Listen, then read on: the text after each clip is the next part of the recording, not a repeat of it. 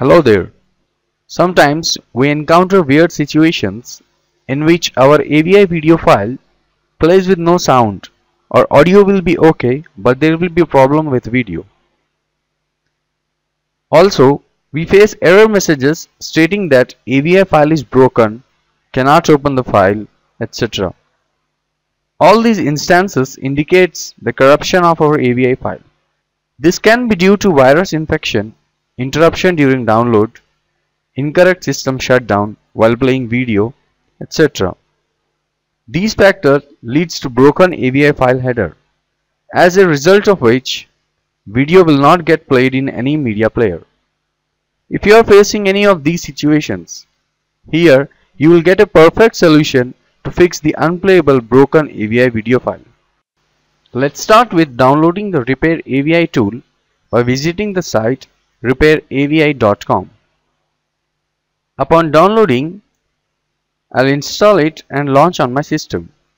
On the main screen, you will find an option to choose your corrupted AVI file. Here, I'll choose the file and click repair. Now, the software starts scanning the video file and repairs the audio and video streams of the file.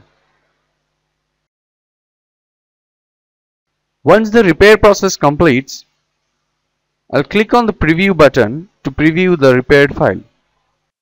Now, I'll use the save option and select the location for saving the healthy file and finally click on save button.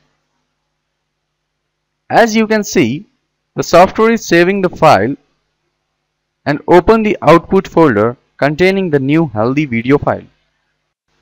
To check the results, I'll right click on the repaired file and try to play it on my system.